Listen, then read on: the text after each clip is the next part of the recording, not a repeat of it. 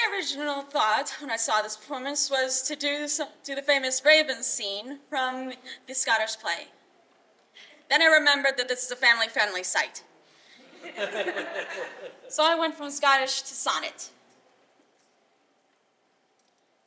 Music to hear, why hearest thou somewhat music sadly?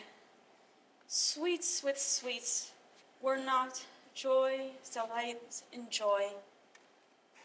Why lovest thou that which thou receivest not gladly, or else receivest with pleasure thine annoy? In the truth, in the true concord of well-tuned sounds, by uniforms married to offend thine ear. They do but sweetly chide thee, who confounds in singleness the parts that thou dost bear.